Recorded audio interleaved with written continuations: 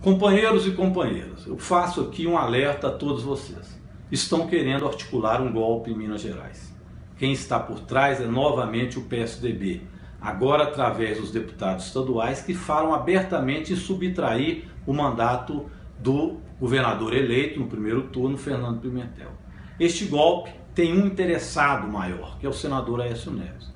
Aliás, foi ele que, junto com Eduardo Cunha, articulou essa bagunça toda no Brasil não aceitou o resultado das urnas, se uniu ao Eduardo Cunha, que até hoje não está preso, e a partir daí nós estamos agora pagando a conta. Nas costas dos trabalhadores estão congelando por 20 anos as verbas de saúde, educação pública, segurança pública e ação social. Ora, isso significa um prejuízo em programas essenciais para o nosso povo. E já avisaram que vão mexer na aposentadoria, passando para 65 anos e desvinculando do salário mínimo.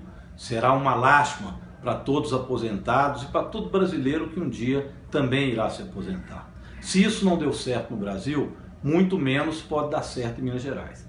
Aliás, o senador Aécio Neves perdeu as eleições porque tinha um péssimo governo.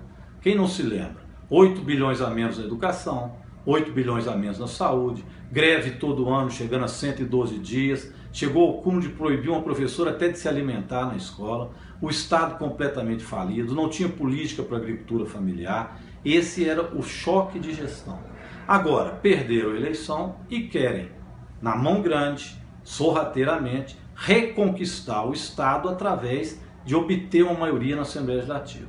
Nós estamos aqui confiantes Aqui nós temos o PMDB unido com o PT, com os demais partidos da base de sustentação do governo Pimentel, mas eles já falam em criar crise e por isso nós precisamos de resolver isso rapidamente. Mas precisamos também do seu apoio, colocando este vídeo nas redes sociais, alertando o seu vizinho. Nós não podemos permitir que se faça em Minas Gerais o que se fez no Brasil atacar a democracia. Porque quando você perde o seu direito de voto, você perde também a capacidade de se organizar e a partir daí perde os seus direitos.